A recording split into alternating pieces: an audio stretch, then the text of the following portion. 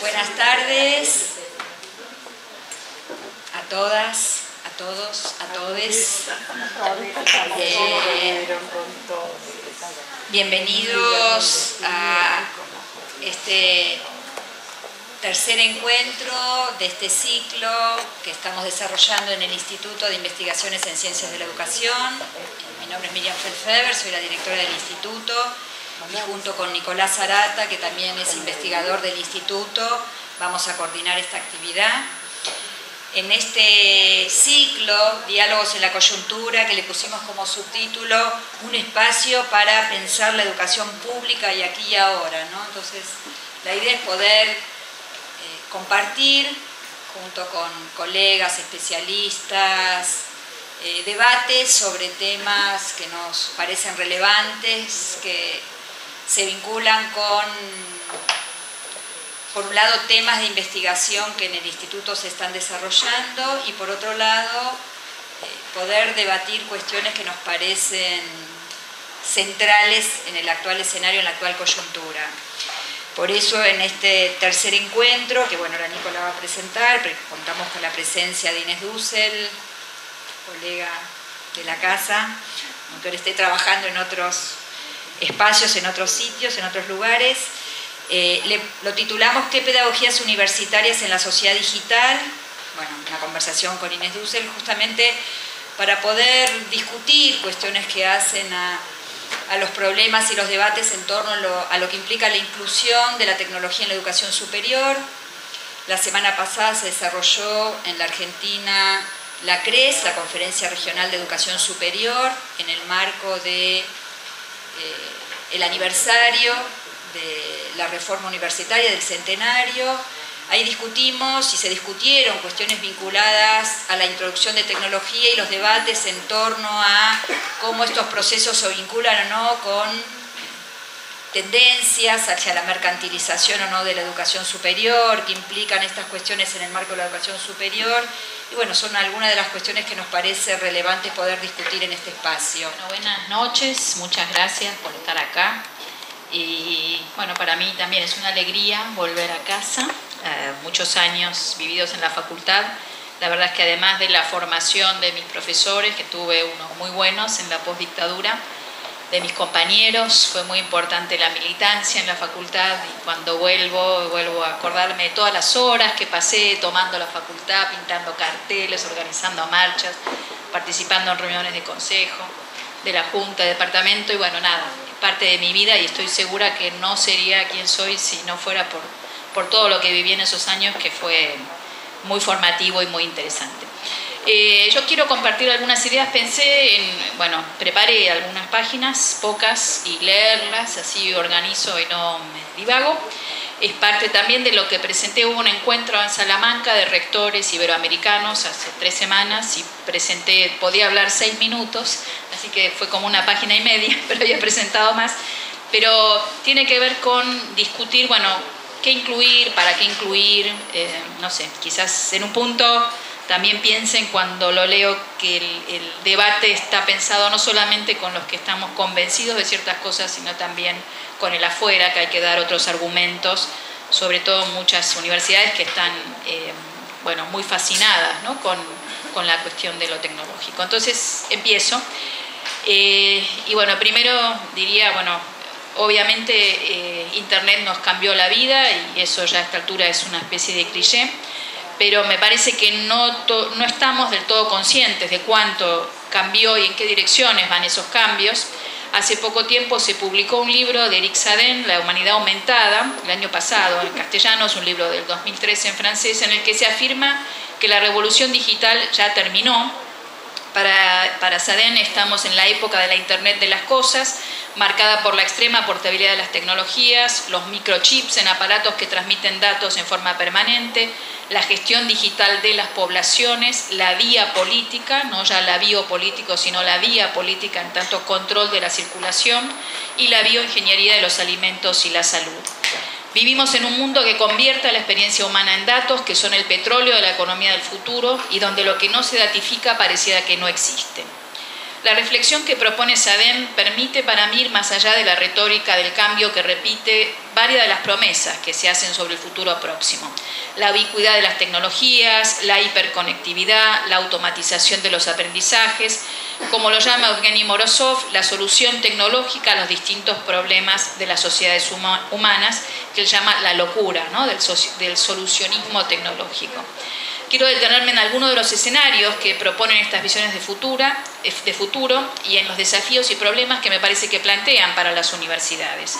Voy a hacer algunas referencias a, algunos aspectos del currículum y la pedagogía universitarias, profundizando en ciertas escenas educativas que se proponen con la Internet de las Cosas para proponer pensar en torno a la posibilidad y a la deseabilidad de estas opciones de futuro, que podríamos llamar también programas de desarrollo al final.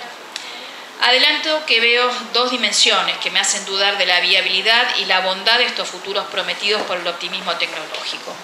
Por un lado, en ese futuro brillante que se promete hay una marcada negligencia de los problemas que crea la nueva situación, no solamente por lo que implican en el costo y la reorganización de los sistemas productivos, organizacionales y los saberes requeridos para producir y hacer funcionar estos nuevos objetos, sino también porque hay muchos aspectos de los que no se habla por ejemplo, se habla poco de la fragilidad o la precariedad de los sistemas informáticos y de su posible manipulación por intereses difícilmente gobernables con la estructura política y económica actual, cuya extensión los hace mucho más vulnerables a ataques destructivos, como se ven los escándalos recientes de Cambridge Analytica, la venta de datos para las, lo que se llaman las cyber wars, las guerras cibernéticas, las nuevas guerras políticas digitales.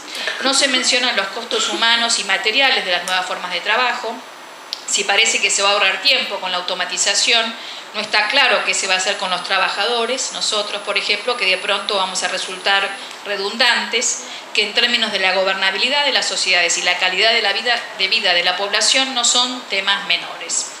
Tampoco se habla de lo que demandan estos cambios a nivel de la infraestructura y de los recursos simbólicos. Y ahí tomo a esta mujer que se llama Elizabeth Losch, que tiene un trabajo muy interesante que después voy a referir más. Ella habla la guerra sobre el aprendizaje, la guerra al aprendizaje que se está dando en las instituciones de educación superior con las tecnologías. Y ella dice, bueno, se imaginan las tecnologías digitales como baratas, nuevas, livianas, compactas, invisibles, eficientes, pero como saben bien los ingenieros y muchos otros, hacen falta insumos materiales que tienen posibilidades y tienen límites, y que operan en un contexto de deseos, de miedos, de aspiraciones, que tienen que ver con muchos elementos que no dependen de las tecnologías, que las exceden.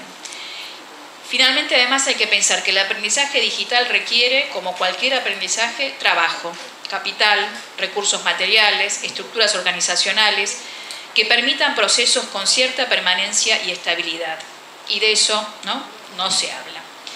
Finalmente, otro gran silencio, silencio son las nuevas jerarquías y desigualdades que instalan sistemas automatizados para las grandes masas de población, propuestas más complejas y sofisticadas, con trayectorias individualizadas para quienes puedan pagar más. Algo debería decirnos que el que en Silicon Valley las escuelas de los hijos de la élite, de las nuevas industrias, busquen modelos educativos no tecnologizados, con pedagogías humanistas y creativas personalizadas. Hay algo que las tecnologías digitales, al menos en su estado actual, no resuelven y no resuelven mucho menos por sí solas. Hay una segunda dimensión a considerar, que es la de la automatización creciente de las relaciones humanas, y de esto habla algo Edric Sadem. En la educación hay cada vez más eh, esta voluntad de incluir dispositivos tecnológicos del tipo de Internet de las Cosas, como clickers o se llaman Q-sensors en las escuelas y universidades, como forma de compensar o reemplazar a lo que se juzga como malos profesores y a las estructuras políticas que se juzga como conservadoras o retardatarias y también como forma de datificar las interacciones en el aula y los procesos de aprendizaje para fines de evaluación y también como nuevos mercados, sobre todo en la educación privada. Los, los clickers son esto, bueno, uno va respondiendo, el profesor hace preguntas y uno cada 10 minutos o menos y va respondiendo sí, no, sí, no, y con eso se datifica y supuestamente saben, saben qué aprendió o qué le parece lo que uno dijo los estudiantes. ¿no? Los Q-sensors son una idea de poner ya microchips que puedan transmitir, por ejemplo, cuando uno se siente más estimulado y involucrado y conectado con lo que dice el profesor o menos, ¿no? Y todo esto parece ciencia ficción, pero se está haciendo. nosotros todavía somos un mercado que no le interesa a nadie, pero en cuanto le empecemos a interesar, van a llegar. Y en Estados Unidos sí está llegando. Se dice que las nuevas formas educativas seguirán lo que hoy anticipan los MOOCs, eh, la Khan Academy y muchas otras experiencias aparentemente exitosas de enseñanza y aprendizaje en línea. Eh, prometen que va a ser una experiencia intensa y sin límites de horario o de espacios, compuesta de cursos hechos a medida con contenido significativo para quien lo pida. Será el reinado del aprendizaje ubicuo, casi sin esfuerzo, porque todo estará ajustado a los intereses y ritmos de cada uno. Estas nuevas agencias educativas estarán organizadas en red, operarán a través de dispositivos tecnológicos monitoreados a distancia, se adaptarán a las necesidades individuales y van a ser económicas y culturalmente accesibles para todos. ¿no? no cierro comillas, pero es como si las hubiera puesto, son las promesas que se hacen. El punto es que cuando se las analiza más de cerca, se ve que esas promesas de las nuevas plataformas no se cumplen. Por ejemplo, la Khan Academy es un conjunto de videos con lecciones memorísticas y tradicionales centradas en información, poco interesadas en la comprensión significativa, sobre todo además poco eficaces para promoverla por sí mismos y sin la mediación de otras figuras que ayuden a volver esos conceptos cercanos y operativos en otros contextos.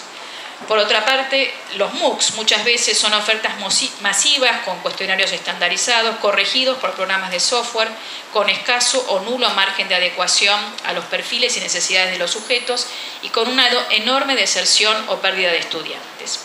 Un historiador educativo de las tecnologías, Bill Ferster, lo llama un simulacro de la ya ineficiente experiencia de la lección magistral tradicional.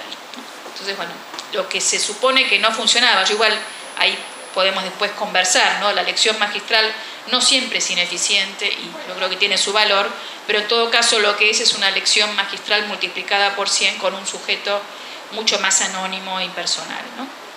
Em, hay otro estudio muy interesante de un antropólogo, Ian Nesport, que él trabajó en la Universidad de Virginia, eh, creo que es la Virginia Tech University, que él estuvo estudiando toda la digitalización de los cursos y lo que él ve es que dice, en algún momento todos los cursos necesitan tutores humanos altamente capacitados para resolver los problemas que el software no puede resolver.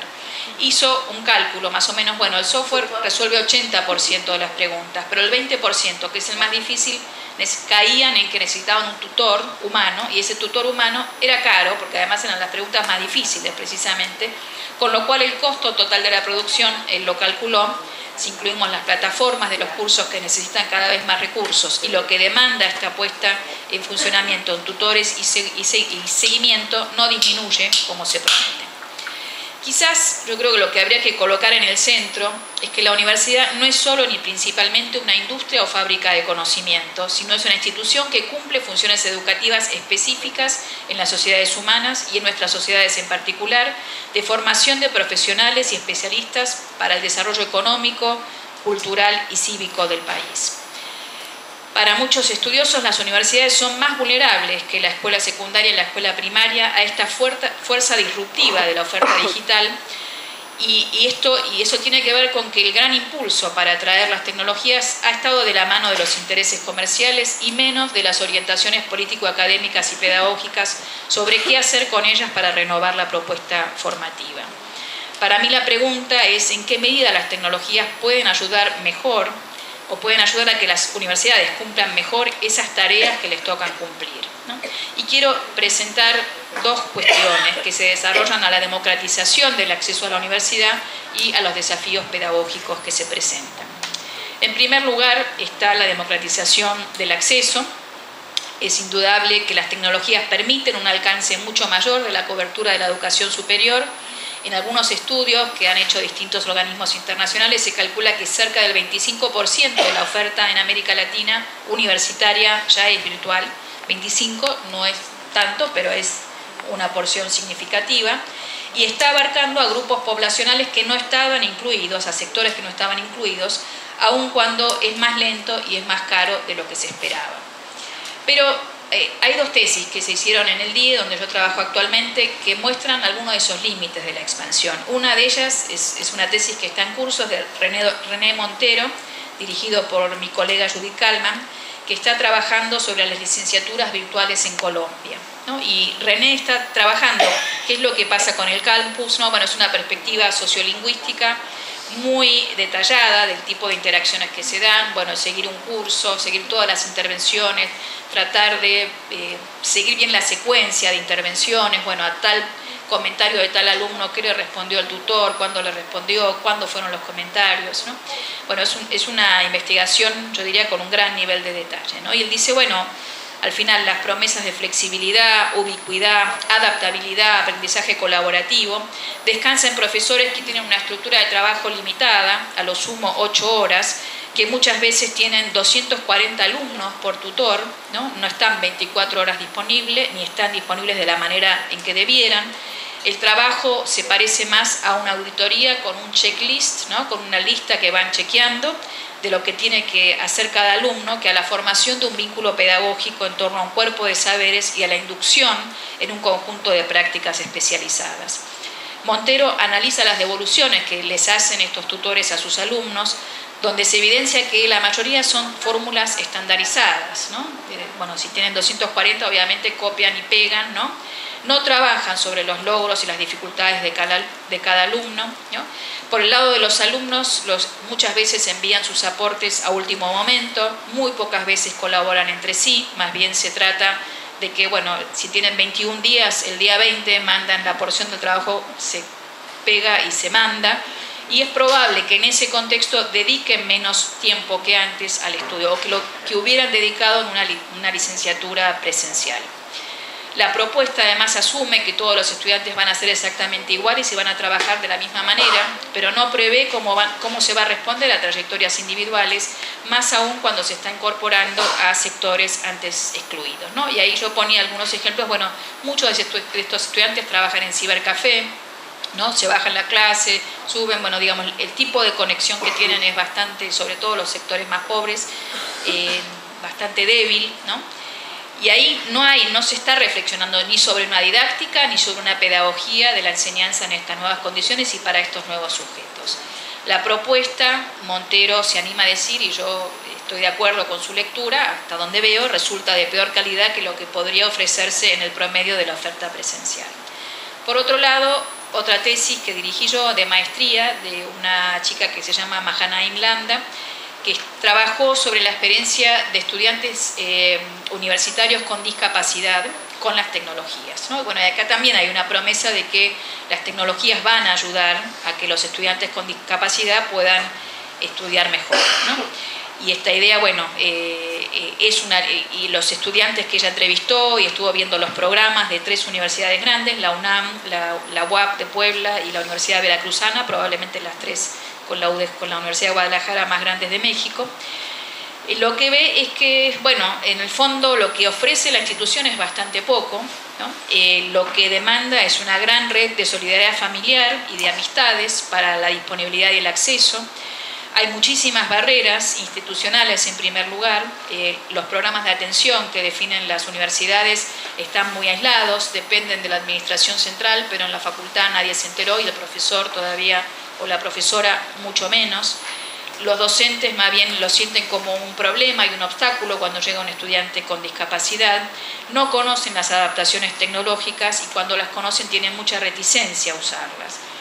Los estudiantes además todavía sufren las dificultades de edificios no adaptados, eh, no hay adecuación de planes de estudio, no sé, en un caso, por ejemplo, una chica ciega le tomaban un examen y el profesor no aceptaba tomarle el examen de manera oral, entonces consiguió que la persona que vende tacos abajo de la facultad subiera a leerle el examen. Y yo decía, bueno, hablamos de tecnologías adaptadas, se llaman asistivas, ¿no? y cuando en el fondo hay un montón de cuestiones que obviamente las tecnologías no, ni resuelven ni las instituciones están de verdad resolviendo.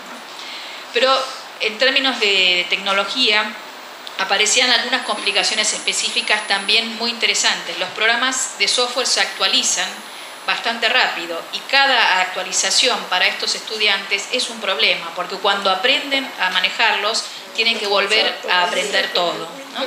Entonces eh, se quejaban, ¿no? Bueno, esto de que tenían que reaprender funciones o comandos, ¿no? Eh, los que son mejores y más adaptables a todos los sistemas educativos tienen costos muy elevados que tienen que cubrir por su cuenta. Eh, y algo interesante que ella encontró es que los cambios en los sistemas de registro e inscripción están llevando al declive del braille. Los chicos con discapacidad visual que usan tecnología ya no usan braille.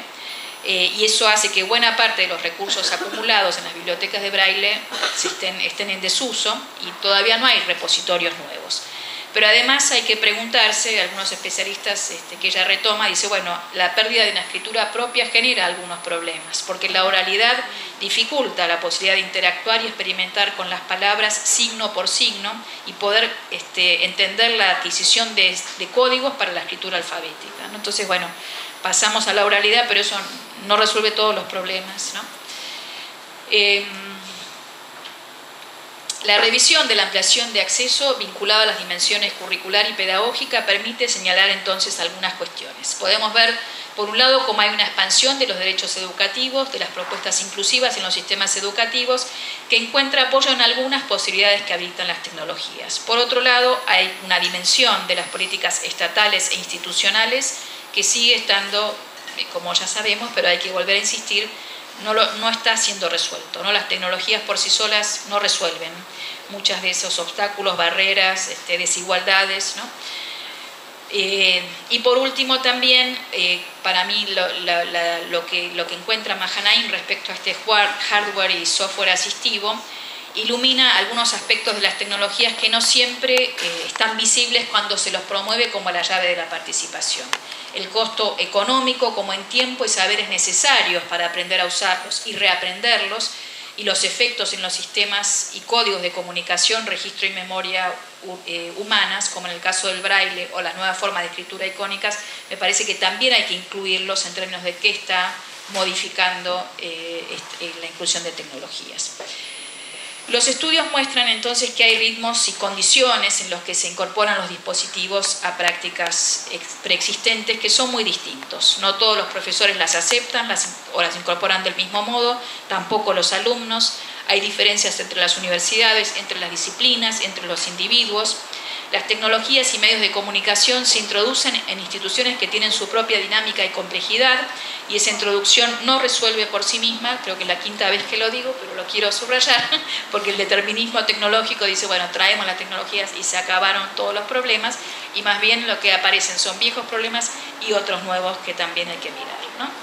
Eh, y acá vuelvo a una vieja idea, de, no tan vieja, pero de, de Viñao Frago, ¿no? esto de los ritmos y temporalidades de los cambios son más lentos y más complejos de lo que suponen los que hacen los programas, las reformas, y al mismo tiempo entran en, tensión con ese cambio acelerado de los medios digitales, ¿no? que es la actualización permanente, el último dispositivo, ¿no? la, la moda, etcétera, etcétera.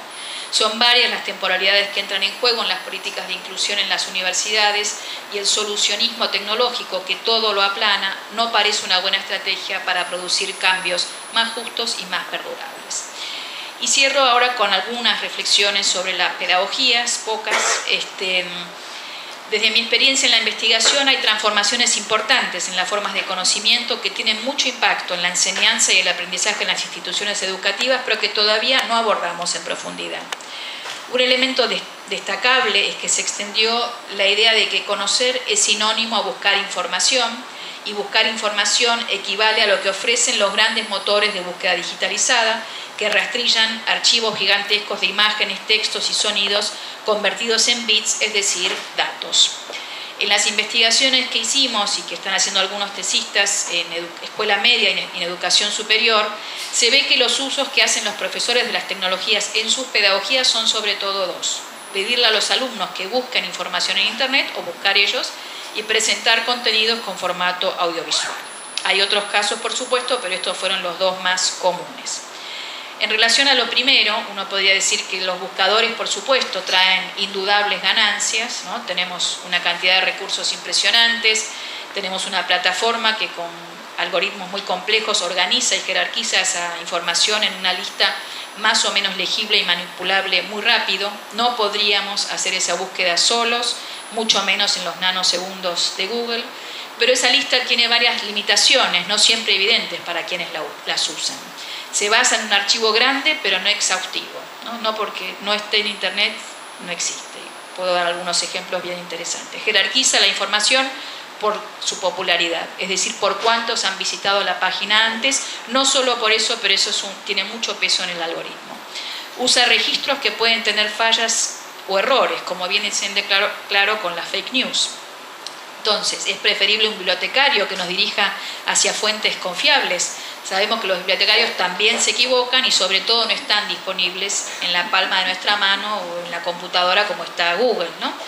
Pero mientras discutimos si es mejor Google o el bibliotecario, con obvias ventajas para Google, ya dimos por sentado que conocer es igual a buscar información y dejamos en el camino otras formas valiosas de saber, entre las que podrían estar escuchar, conversar, pensar a solas, explorar a tientas, observar, sentir, caminar, como los peripatéticos, como Magellane y muchos otros plantean el caminar como forma de aprender también. Hay un conjunto, además, en la universidad de prácticas especializadas que no pasan por leer listas de información. Eso se trabaja menos y cuando se trabaja tampoco se analiza cómo van cambiando con las nuevas condiciones tecnológicas. En tanto parece que nos hemos resignado a que será Google, Google o la plataforma que lo reemplace, el que organice nuestros repositorios de conocimiento con los consabidos problemas que tiene con una empresa, eh, una corporación transnacional más grande que la gran mayoría de los estados nacionales, que maneja todo eso, y se deja de lado la reflexión y la crítica sobre cómo, para qué y con quiénes vamos produciendo conocimiento y qué efectos tiene ese conocimiento sobre la sociedad en que vivimos. Para cerrar, quiero traer eh, una reflexión que hacía Walter Benjamin en 1931 en su pequeña historia de la fotografía, y él decía que en el futuro será analfabeto quien no sepa leer sus propias imágenes. Quizás ese futuro ya está acá, en la compulsión de la selfie o las cámaras callejeras solo supervisadas por máquinas y también en la ignorancia con la que nos movemos en un mundo digital cuyos códigos y formas de organización nos resultan crecientemente opacos, aunque vengan en aparatos cada vez más bellos y más luminosos. Me parece que el currículum, y la pedagogía universitaria tienen que preguntarse sobre qué experiencias van a estar disponibles para las nuevas generaciones en los años que siguen, y cómo se formarán en las prácticas especializadas que sus profesiones les demandan. Pero también creo que hay preguntas generales que traen tradiciones centenarias o casi milenarias de la universidad y que hacen a su lugar en la sociedad. La universidad medieval se definía como una institución vinculada al translatio studiorum, es decir, al intercambio y la traducción de saberes. Esto es algo que, que aprendí hace poco leyendo Legoff, releyendo Legoff, ¿no? de la historia de las universidades y él decía, bueno, estaba el imperio, el traslatio imperium, ¿no? el, poder del imperio eh, en la Edad Media y el traslatio studiorum, bueno, era, era similar, ¿no? la universidad en el sentido del imperio de que eh, traficaba saberes, ¿no? intercambiaba saberes, no poderes, sino saberes. Y creo que esta idea de intercambiar y traducir saberes sigue siendo importante en un contexto como el actual, caracterizado por una impresionante movilidad de personas, pero también de conocimientos, de capital, y en el cual las viejas fronteras ya no son capaces de detener esos movimientos, aunque se intente con muros y otras cosas. ¿Qué tipo de lenguajes van a tener a la mano nuestros estudiantes para narrar sus experiencias y para comunicarlas a otros, integrándose a una producción colectiva de conocimientos? ¿Les preocupará todavía la pregunta por la verdad de los enunciados o van a preferir irse por el lado de lo más llamativo, lo más emotivo, lo que parezca más auténtico. ¿Cómo va a afectar eso a sus prácticas profesionales? ¿Van a valorar todavía el método científico de validar los enunciados si en la sociedad ya dejó de ser central? ¿Podrán o querrán mirar, al pasado para acercarse al presente con una perspectiva más compleja? ¿Podrán disponer de lenguajes artísticos menos estandarizados y previsibles que los que vienen en los dispositivos tecnológicos? ¿A qué conversaciones querrán sumarse? Estas preguntas, por supuesto, no es que tengan respuesta ni respuesta fácil, pero no me imagino respuestas que no pasen de alguna u otra manera por una redefinición de qué es y qué hace la universidad. Cierro con las ideas de de Elizabeth Losch, sobre la guerra al aprendizaje que parece estar a la base de algunas formas de introducir las tecnologías en las universidades, formas que ella llama arrolladoras e irreflexivas. Ella dice que cuando la introducción de las tecnologías es operada básicamente desde criterios, criterios empresariales, el objetivo se centra en producir resultados cuantificables y vendibles como parámetro de éxito antes que producir cambios relevantes y perdurables en las formas de enseñanza y de aprendizaje. no se ocupan, como están tan interesados en producir el dato ¿no? que de éxito, de pensar qué cambios, que son más difíciles de calcular que los algoritmos, serán más significativos, cambios que tienen que ver con un desarrollo intelectual sostenido en el tiempo y de la aplicación de la teoría a la práctica en la vida real de nuestras sociedades. Yo creo que hay en esos silencios y vacíos una alerta importante sobre cómo y para qué se traen las tecnologías digitales a la enseñanza silencios y vacíos que me parece que tenemos que llenarlos con otras reflexiones y con otras propuestas desde otra parte del campo universitario para que esto tenga direcciones distintas a las que parecen tener. Bueno, estas son las ideas que quería compartir y abrir la conversación con Mariano, Alejandro y todos los que quieran sumarse.